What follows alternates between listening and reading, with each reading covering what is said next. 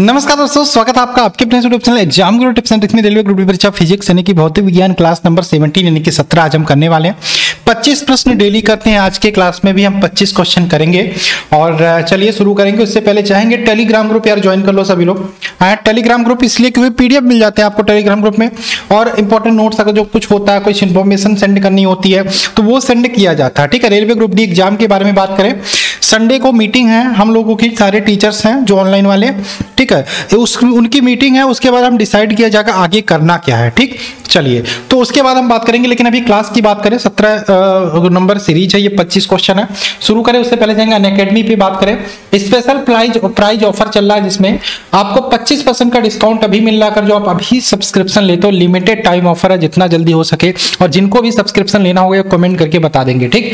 और इसके अलावा बात करें ये स्पेशल प्राइस ऑफ़र है, आप देख सकते हो कि वन ईयर का सब्सक्रिप्शन सिर्फ़ लगभग फोर नाइन सेवन थ्री में मिल जाएगा। और छह हज़ार में टू ईयर का सब्सक्रिप्शन ले सकते हो। ये लिमिटेड टाइम ऑफ़र है, जितना जल्दी हो सके आप ले लीजिए, ठीक? चलिए, इसके अलावा S S C combat every Sunday होता है। संडे भी होगा। एसएससी कॉम्बैक्ट का लिंक मैंने डिस्क्रिप्शन में डाल दिया है। एनरोल कर लीजिए और संडे को जब भी होगा दीजिए और मौका मिलेगा तो इसमें आपको वन ईयर का एस एस सी का सब्सक्रिप्शन भी जीत सकते हैं इसमें। इसके अलावा टेस्ट सीरीज़ की बात करें एसएससी एस्पिरेंट के लिए टेस्ट सीरीज़ भी अकेडमी के ऐप पर अवेलेबल कराया गया है तो जितना जल्दी हो सके ऐप को डाउनलोड करो। लिंक डिस्क्रिप्शन में है और अकेडमी भी मुझे भी फॉलो कर लीजिए, वहाँ पर भी मेरी क्लासेस चलती है। ठीक? और अन अकेडमी के ऐप की बात करें, वहाँ फ्री में भी बहुत सारे प्रैक्टिस सेट अवेलेबल है पेड में भी है प्लस वालों के लिए भी वो भी दे सकते हो। चलिए शुरू करें। पहला क्वेश्चन आपके सामने स्क्रीन पर भाई चैनल को सब्सक्राइब भी कर लो, ठीक? और अपने दोस्त फ्रेंड्स जो भी रिलेटिव्स हैं, उनके साथ शेयर भी कर दिया करो। निम्नलिखित में से कौन सी गुरुत्व स्थिरांक जी की इकाई है? मैंने आपको क्या बताया था? न्यूटन के गुरुत्वाकर्षण नियम से कहा जाता है कि दो पिंड है, मान लो, जिनका द्रव्यमान है एम और एम है। इनके बीच अगर जो दूरी, मान लो, इनके बीच दूरी आर है। क्या है दूरी? आर है। ठीक? तो न्यूटन के गुरुत्वाकर्षण नियम ये कहता है कि ब्रह्मांड में किन्हीं दो पिंडों के मध्य कार्य करने वाला बल, कार्य करने वाला बल, उनके आकर्षण बल के द्रव्यमानों के गुणनफल, द्रव्यमानों के गुणनफल और तथा उनके गुणनफल के तथा उनके बीच दूरी आर के वर्ग के व्युत क्रमानुपाती होता है, जिसमें जी आपका आता है सार्वत्रिक गुरुत्वाकर्षण नियतांक। जिसकी वैल्यू पूछा जाए तो 6.67 गुड़े दस पे घाते माइनस ग्यारह न्यूटन मीटर स्क्वायर प्रति किलोग्राम स्क्वायर होता है। ये मात्रक होता है और यही आपसे पूछा है कि गुरुत्वीय स्थिरांक जी का मान क्या होता है? तो न्यूटन सॉरी इकाई क्या होती है? मात्रक क्या होता है? न्यूटन मीटर स्क्वायर प्रति किलोग्राम स्क्वायर ठीक? वैल्यू भी आप याद रखोगे 6.67 गुड़े दस पे खाते माइनस ग्यारह, ठीक है? चलिए क्वेश्चन नंबर दो की बात करें। वेग मापी या टैकोमीटर का प्रयोग किसके मापन के लिए किया जाता है? टैकोमीटर का प्रयोग किसके मापन के लिए किया जाता है? गुरुत्वाकर्षण घूर्णन गति पृष्ठी तनाव या परिक्षेपण। तो यह घूर्णन गति के मापन के लिए किया जाता है ऑप्शन नंबर ए। ठीक?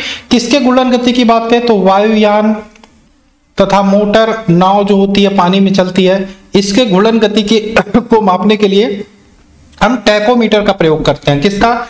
टैकोमीटर का। ठीक है? कैलिपर्स, आप सबको पता है ना, कैलिपर्स, वर्नियर कैलिपर्स आपने ट्वेल्थ में प्रैक्टिकल किया होगा।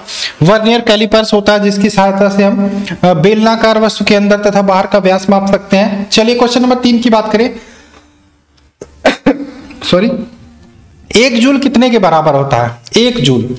तो एक जूल की बात करें, अगर जो अर्घ में देखोगे टेन टू दावर सेवन अर्घ के बराबर होता है, ठीक? एक इलेक्ट्रॉन वोल्ट कितने के बराबर होता है? 1.6 point six into ten minus उन्नीस जूल के बराबर होता है, ये भी याद रखिएगा। एक किलो वाट घंटा भी पूछे तो ये भी याद रखिएगा 3.6 point six into ten to the power six joule के बराबर होता है। ठीक? सिक्स जूल के बराबर होता है। एक कैलोरी बराबर कितना होता है? 4.18 जूल। ये सारे आप यूनिट याद रखना। तो एक जूल बराबर 10 पे पावर सात erg option number C question number चार की बात करें। चंद्रमा पर वायुमंडल नहीं पाए जाने का कारण क्या है? चंद्रमा पर वायुमंडल नहीं पाए जाने का कारण क्या है?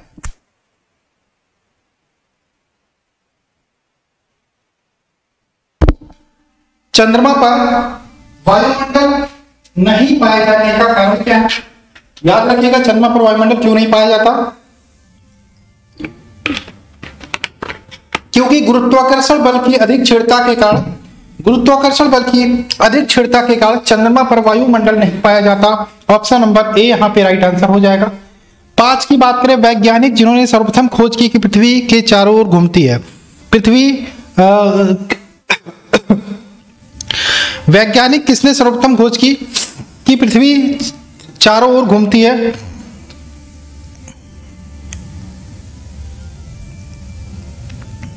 पृथ्वी सूर्य के चारों ओर घूमती है। माफ़ कीजिएगा। पृथ्वी सूर्य के चारों घूमती है तो ये कॉपर निकस ने खोजा था ऑप्शन नंबर सी, कॉपर निकस ने कॉपर निकस ने ठीक? न्यूटन ने क्या दिया था? न्यूटन ने गति के नियम दिए थे। गति के नियम दिए थे न्यूटन ने। अगर जो मैं बात करूँ, डॉल्टन ने डॉल्टन ने परमाणु सिद्धांत दिया था, परमाणु सिद्धांत दिया था डॉल्टन ने। इसके अलावा आइंस्टाइन ने ई बराबर एमसी स्क्वायर आप पढ़ते हो, दिया था। छह की बात करें, निम्नलिखित में से कौन सी एक रासायनिक प्रतिक्रिया नहीं है? केमिकल रिएक्शन नहीं है। निम्न में से कौन सी एक रासायनिक प्रतिक्रिया नहीं है? केमिकल रिएक्शन नहीं है। इसका आंसर क्या होगा? तो यहाँ देखिएगा अपघटन रासायनिक क्रिया है ऑक्सीकरण रासायनिक क्रिया है हाइड्रोलिसिस रासायनिक क्रिया गुरुत्वाकर्षण, इसका राइट आंसर होगा। एक रासायनिक क्रिया नहीं है। देखो, भौतिक क्रिया में क्या हो सकता है? पुनर्चक्रण हो सकता है, यानी कि वह पुनः मूल रूप में लौट सकता है। जैसे बर्फ़ ठोस अवस्था में रहता है, उसे जल उसे लिक्विड में भी कर सकते हैं, गैस में भी कर सकते हैं। लेकिन लेकिन हम बात करें लेकिन अगर जो हम बात करें कि जो रासायनिक प्रक्रिया होती है, उसका पुनः चक्रण नहीं हो सकता। चलिए क्वेश्चन नंबर सात की बात करें। बहुत पुराने मॉडल पेंडुलम पेंडुलम घड़ी की कार्य पद्धति पूरी तरीके से किस पर आधारित थी? बहुत पुराने मॉडल पेंडुलम घड़ी की कार्य पद्धति पूरी तरीके से मैकेनिकल थी option number A mechanical. Pendulum घड़ियाँ क्या होती थी बाबू? गर्मियों में सुस्त पड़ जाती थी। गर्मियों में सुस्त पड़ जाती थी और सर्दियों माह में तेज हो जाती थी। और चंद्रमा पर ले जाने पर उसका आवर्तकाल बढ़ जाता था ये भी ध्यान रखिएगा। इसी आ, इसी जो लोलक होता था ना उसकी लंबाई बढ़ जाती थी। जो धागा होता था उसकी लंबाई बढ़ जाती इस कलर से आवर्तकाल बढ़ता घटता था ठीक? और इसीलिए चंद्रमा पर जो होता है और एक और बात ध्यान रखिएगा पृथ्वी की अपेक्षा चंद्रमा पर जी गुरुत्वाकर्षण बल का मान वन बाई सिक्स होता है ठीक? और अगर जो हमें चंद्रमा पर हमें निकालना हो, गुरुत्वाकर्षण बल तो हम कौन सी घड़ी ले जाएँगे? पेंडुलम घड़ी नहीं ले जाएँगे, ठीक? वहाँ पे पेंडुलम घड़ियाँ उपयोगी नहीं होती। वहाँ पे हम कौन सी घड़ी ले जाते हैं? क्वार्ट्ज घड़ियाँ ले जाते हैं, क्वार्ट्ज घड़ी ले जाते हैं, ठीक? चलिए, क्वार्ट्ज घड़ियों का प्रयोग किया जाता है। लैब में हो या चंद्रमा पे हो। क्वेश्चन नंबर बात करें हमारा आठ। पेंडुलम घड़ी का आविष्कार किसने किया था? Who invented the pendulum clock pendulum घड़ी का आविष्कार किया था क्रिश्चियन हुगोस ने। क्रिश्चियन हुगोस ने ऑप्शन नंबर, देखो, ऑप्शन में है ही नहीं। याद रखिएगा, इनमें से किसी ने नहीं किया था। पेंडुलम घड़ी का आविष्कार किया था क्रिश्चियन ह्यूगोस ने ह्यूगोस ने, ठीक? कब? 1556 में। ठीक है? थर्मोस्कोप का आविष्कार किसने किया था? गैलीलियो ने। गैलीलियो ने थर्मोस्कोप का आविष्कार किया था। एलवी की बात करें तो एडिसन ने ग्रामोफोन का आविष्कार किया था। ठीक? चलिए क्वेश्चन नंबर बात करें नौ। जब अनेक छोटी छोटी बूंदें मिलकर एक बड़ी बूंद की रचना करती है, तब ऊर्जा क्या होती है? तो जब छोटी छोटी बूंदें मिलकर बड़ी बूंद का निर्माण करती है तो द्रवों का पृष्ठ क्षेत्रफल बढ़ता है। क्या होता है? द्रवों का पृष्ठ क्षेत्रफल बढ़ता है और अतः क्या होता है? पृष्ठ क्षेत्रफल बढ़ने के कारण पृष्ठ तनाव के विरुद्ध इसे कार्य संपन्न होता है, जिससे क्या होती है? ऊर्जा मुक्त होती है। ऑप्शन नंबर ए ऊर्जा मुक्त होती है। पृष्ठ तनाव का मात्रा क्या होता है? पृष्ठ तनाव की मात्रा की बात करें, यूनिट की बात करें, ये क्या होता है? Newton metre. Newton metre, newton प्रति मीटर। ठीक? क्वेश्चन नंबर दस की बात करें, तैराक को नदी के मुकाबले समुद्र पानी में तैरना आसान क्यों लगता है? तैराक को नदी के मुकाबले समुद्री पानी में तैरना आसान क्यों लगता है? क्योंकि समुद्री पानी का घनत्व, क्योंकि समुद्री पानी का घनत्व साधारण पानी से ज़्यादा होता है, ठीक? समुद्री पानी का घनत्व साधारण पानी से ज़्यादा होता है, इस कारण से क्या होता है? घनत्व अधिक होने के कारण विस्थापित द्रव का भार अधिक हो जाता है और उसमें तैरना आसान होता है। Option number C, right answer होगा। ग्यारह की बात करें, निम्नलिखित में से किस विद्युत चुंबकीय तरंग की आवृत्ति न्यूनतम होती है? किस विद्युत चुंबकीय तरंग की आवृत्ति न्यूनतम होती है? बाबू, मैंने कल वाले क्लास में क्या बताया था? आपको याद करना पड़ेगा। R M I V U X Y याद करना पड़ेगा। R M I V U X Y R M I V U X Y मैंने उल्टा याद किया है। एक बार बोलो आप साथ में R M I V U X Y R क्या है बाबू? आर आपका मैं कलर चेंज करके बताने की कोशिश करता हूँ। आर है आपका radio waves radio waves radio तरंगे। यम है माइक्रोवेव्स माइक्रोवेव्स आई है infrared infrared waves V है विजिबल वेव्स विजिबल उसके बाद यूवी है अल्ट्रा वायलेट ठीक एक्स से है एक्स रेज और वाई है आपका गामा गामा रेज तो ये आपको पता चल गया, देखो देखो, अगर जो मैं बात करूँ, आवृत्ति के क्रम में बढ़ता क्रम ये है, यानी कि नीचे से ऊपर जाता है तो ये फ्रीक्वेंसी यानी कि आवृत्ति का बढ़ता क्रम है, और ऊपर से नीचे आता है तो ये तरंग दर्द का बढ़ता क्रम है। तो आवृत्ति न्यूनतम किसकी होगी? न्यूनतम रेडियो वेव्स की होगी, यानी कि आपका रेडियो तरंग के ऑप्शन नंबर एक। आपसे पूछे किसकी आवृत्ति ज़्यादा होगी तो ये बढ़ता क्रम है, यानी कि गामा की आवृत्ति ज़्यादा होगी। किसकी तरंग दर्द ज़्यादा होगी? रेडियो वेव की तरंग दर्द ज़्यादा होगी। किसकी तरंग दर्द कम होगी? गामा वेव की तरंग दर्द कम होगी। गामा और यूवी अल्ट्रावायलेट के बीच में कौन है? एक्सरेज है। कल ये क्वेश्चन आया था। तो ये आपको याद करना पड़ेगा। R M I V U X Y R M I V U X Y ठीक? याद करोगे तभी होगा। नहीं तो एग्ज़ाम में आपका ये क्वेश्चन आएगा। 100 परसेंट रेलवे ग्रुप डी में आएगा और गलत करके बाबू चले आओगे। तो याद करना पड़ेगा। तो क्या आंसर होगा? रेडियो तरंगे। ठीक? चलिए। क्वेश्चन नंबर बात करें। बारह ओजोन परत जीव सेल की रक्षा किससे करती है? तो ओजोन परत जीव सेल की रक्षा यूवी रेस से करती है पराबैगनी किरणों से करती है। Option number A right answer होगा पराबैगनी विकिरण से ओजोन हमारी रक्षा करती है। पराबैगनी विकिरण से ओजोन हमारी रक्षा करती है। Option number A right answer होगा, ठीक? ओजोन परत की खोज किसने की थी? चार्ल्स फेबरी चार्ल्स फेबरी ने। फेवरी ने की थी। 16 सितंबर ओजोन डे मनाते हैं, ध्यान रखिएगा।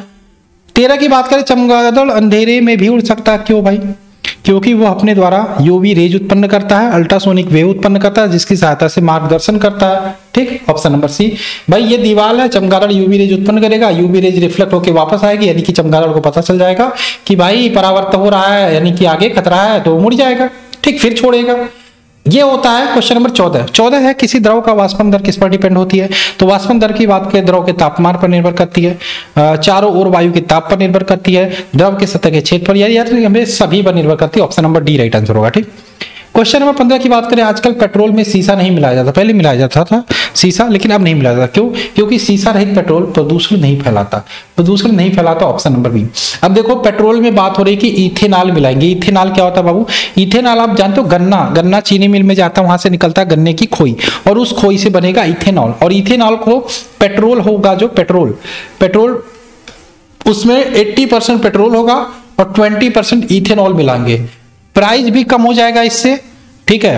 और सस्ता भी पड़ेगा कस्टमर को और काम तो वही करेगा। ठीक तो ये बात चल रही है और ये होने वाला है जल्दी। ठीक, इथेनॉल वाला पेट्रोल मिलेगा तो आगे चले। क्वेश्चन नंबर 16 की बात करें फारेनहाइट पैमाने पर अट्ठानवे दशमलव छह डिग्री फारेनहाइट तापमान सेल्सियस पैमाने पर क्या होगा? भाई ये मानव शरीर का सामान्य ताप दिया है। अट्ठानवे दशमलव छह फारेनहाइट होता है तो आपको बदलने की ज़रूरत ही नहीं है। ये हो जाएगा डिग्री सेल्सियस में सैंतीस डिग्री सेल्सियस अब बदलना चाहते हो तो आप रिलेशन यानी कि संबंध याद रखना। संबंध तीनों देख लो तो, तो मैं बता दू सेल्सियस पैमाने पे फारेनहाइट पैमाने पे एफ़ माइनस बत्तीस बटे नौ और बराबर होता है के माइनस दो सौ तिहत्तर बटे पाँच। ये अगर जो आपको याद है तो अगर जो आपका केल्विन दिया है फारेनहाइट पूछे बता सकते हो। केल्विन दिया है सेल्सियस बता, सकते हो।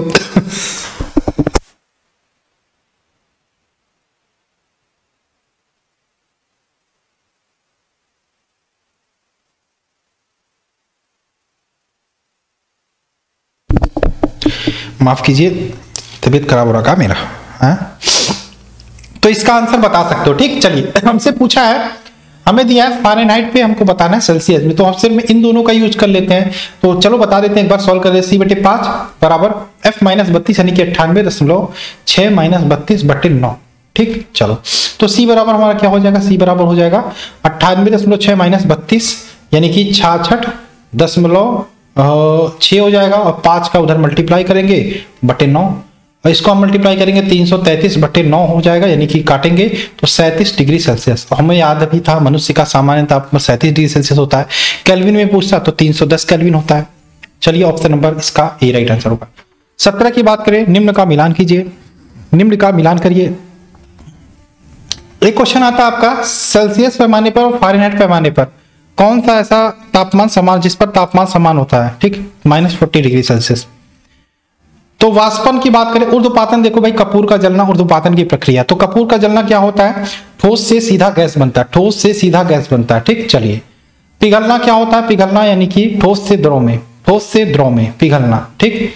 ऊर्ध्वपातन की बात, वाष्पन की बात करें, द्रव से गैस में परिवर्तन, द्रव से गैस में परिवर्तन को हम वाष्पन बोलते हैं, द्रव से गैस में ऊर्ध्वपातन हो गया और पिघलना हो गया, ठोस से गैस ठोस से आपका पिघलना, ठोस से द्रव में और हिमीकरण की बात करें, गैस से द्रव में। हिमीकरण यानी कि गैस से द्रव में। ठीक, ये देख लेना कौन सा ऑप्शन सही होगा। आगे चले क्वेश्चन नंबर हम बात करें। क्वेश्चन नंबर बात करें अठारह उष्मा गतिकी के प्रथम नियम का संबंध होता है। तो उष्मा गतिकी का प्रथम नियम ऊर्जा संरक्षण के नियम पर आधारित हो। तो ऑप्शन नंबर बी 19 की बात करें, शुष्क सेल में ऊर्जा संग्रहित होती है, वो कैसी होती है? तो एक प्रकार की रासायनिक ऊर्जा होती है ऑप्शन नंबर सी शुष्क सेल की बात करें एक प्रकार का विद्युत रासायनिक सेल होता है। और इसका विकास कार्ल गॉसनर के ने किया था, ये भी याद रखिएगा option number C right answer होगा। 20 की बात करें, हमारे घरों में विद्युत आपूर्ति 220 वोल्ट एसी होती है। 220 का मान आपूर्ति की क्या दर्शाता है? यह आपूर्ति की प्रभावी वोल्टता को दर्शाता ऑप्शन नंबर बी आपूर्ति की प्रभावी वोल्टता को। क्वेश्चन नंबर इक्कीस की बात करें, यदि एफ़ बराबर ज़ीरो तो किया का कार्य क्या होगा? तो कार्य डब्ल्यू बराबर होता है एफ़ इंटू डी बल इंटू बल की दिशा में विस्थापन, यानी कि एफ़ ज़ीरो है तो डी भी ज़ीरो हो जाएगा। मल्टीप्लाई करेंगे तो कार्य आपका क्या होगा? ज़ीरो शून्य होगा। ऑप्शन नंबर बी शून्य जूल होता है। ठीक है? ये क्वेश्चन मैंने इसलिए लिया क्योंकि ये railway group D group D 2018 third shift के एग्ज़ाम में आया हुआ था। ठीक? कितना सिंपल न्यूमेरिकल था। 22 की बात करें, यदि किसी ध्वनि की तरंग आवृत्ति 50 हर्ज है तो इसका आवर्तकाल आवर्तकाल का फॉर्मूला होता है टी बराबर एक बटे आवृत्ति। आवृत्ति कितना एक बटे पचास, यानी कि 0.2 सेकंड हो जाएगा ऑप्शन नंबर इसका डी ये भी आया हुआ था रेलवे ग्रुप डी में। तेईस की बात करें, एक दूसरे पर 120 डिग्री पर झुके, दो दर्पणों के बीच कुल कितनी छवियाँ बनेगी? भाई 360 बटे थीटा माइनस वन, ये बताया था मैंने। 360 बटे 120 माइनस वन ठीक? बारह या छत्तीस और तीन माइनस वन यानी कि दो। दो यानी कि option number C question number 24 की बात करें, एक उत्तल लेंस की फोकस दूरी 25 सेंटीमीटर उसकी क्षमता ज्ञात करें। क्षमता को हम डायोप्टर में मापते हैं। फोकस दूरी दिया बराबर 25 सेंटीमीटर इसको मीटर में बदल सकते हैं तो 0.25 मीटर हो जाएगा। ठीक? क्षमता निकालना है। क्षमता या आवेश, क्षमता या आवेश एक ही होता है तो पी बराबर होता है वन अपन एफ़ बराबर वन अपन ज़ीरो ये हम अगर जो दशमलव हटाएँगे तो हमारा लगभग सौ सॉरी दशमलव हटाने के लिए हम ऊपर सौ करेंगे। सौ करेंगे तो पच्चीस बट सौ बटे पच्चीस यानी कि चार डायोप्टर। डायोप्टर में मापते हैं लेंस की क्षमता option number D right answer होगा। पच्चीस की बात करें, दस वोल्ट के विभवांतर वाले दो बिंदुओं के बीच चार डिग्री सेल्सियस के चार्ज का स्थानांतरित करने में कितना समय लगेगा? ठीक? तो वी बराबर क्या दिया है? दस वोल्ट। वी बराबर दस वोल्ट दिया है। क्यू बराबर आवेश दिया है चार डिग्री सेल्सियस। ठीक? इसके बाद आपको W निकालना है तो विभवांतर V बराबर क्या होता है? विभवांतर V बराबर होता है कार्य W बराबर, कार्य W बटे आवेश Q आवेश Q तो यहाँ पे हो जाएगा, आपको निकालना क्या है? क्या निकालना है? काम। तो कार्य बराबर क्या हो जाएगा? W बराबर हो जाएगा V गुड़े क्यू तो V कितना दिया? 10 और Q कितना दिया? 4 यानी कि 40 जूल हो जाएगा। जूल कार्य की यूनिट जूल होती है ऑप्शन नंबर सी तो अब बताइए, कोई दिक्कत हुआ? किसी भी क्वेश्चन में छोटा छोटा क्वेश्चन था न्यूमेरिकल भी। छोटे छोटे फॉर्मूले थे, अब इसमें भी कोई दिक्कत नहीं होना चाहिए। सब में किस, कोई दिक्कत नहीं होना चाहिए, ठीक है? सिंपल तरीके से सॉल्व हो गया। भैया, इसी प्रकार से ये सीरीज़ कंटिन्यू रहेगी और इतने क्वेश्चन कर लेंगे, इतने क्वेश्चन कर लेंगे कि किसी ने सोची ना होगी, ठीक? और ये भाई, मुझे भी आदत पड़ गई ये सारी चीज़ें बोलने की, ठीक? और आई होप आप चैनल को सब्सक्राइब करोगे बाबू, और लाइक करोगे, और ठीक है, और टेलीग्राम ग्रुप ज़रूर जानकारी जिसमें पीडीएफ आपको मिल जाएगी। चलिए मिलते हैं साथ में। जय दोस्तों, जय भारत।